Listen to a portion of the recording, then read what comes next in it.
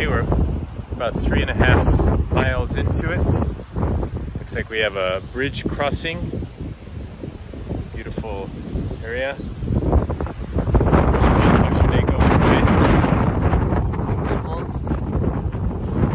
It's, uh, it's probably 60, 65 degrees out here. Sunny, obviously, windy, but uh, Uh, four young people. Are they from England or Scotland?